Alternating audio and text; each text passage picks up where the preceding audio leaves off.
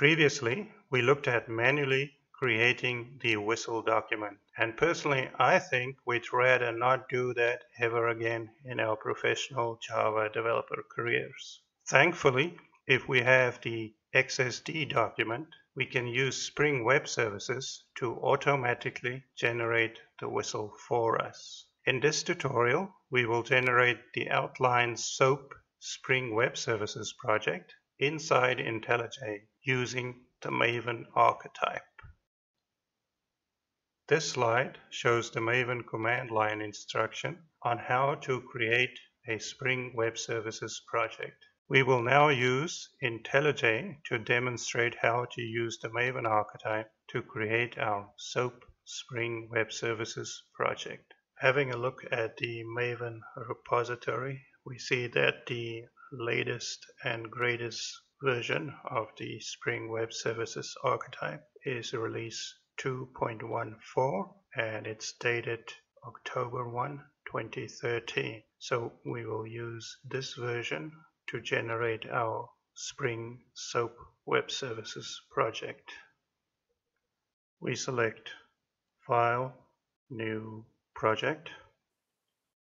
Here we select Maven and Create from Archetype. Then we select add archetype.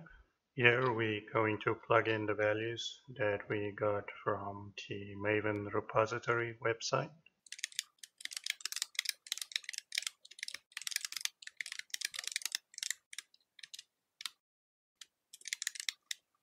Select OK.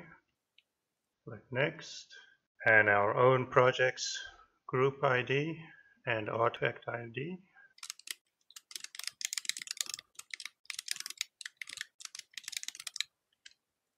We will keep the defaults in all the Maven options here. Change our project name. Change our location.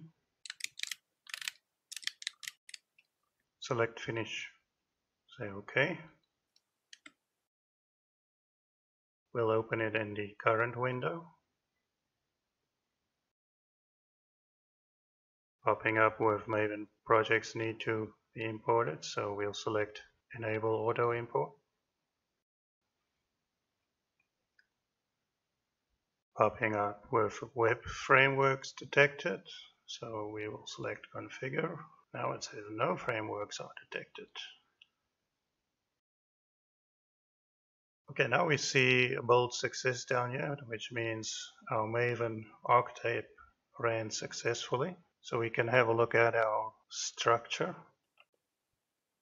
it's created the POM file for us, a basic outline structure with a web app with the web XML and the Spring WS servlet XML. Now we saw the web.xml pop up, so we can use IntelliJ to inspect that. We'll go to our project structure and look at our module settings and Let's look at modules.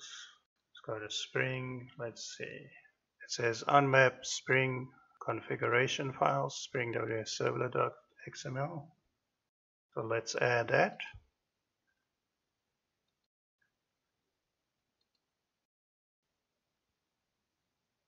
And apply it.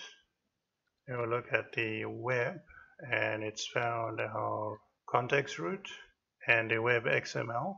So it looks like it picked that up automatically.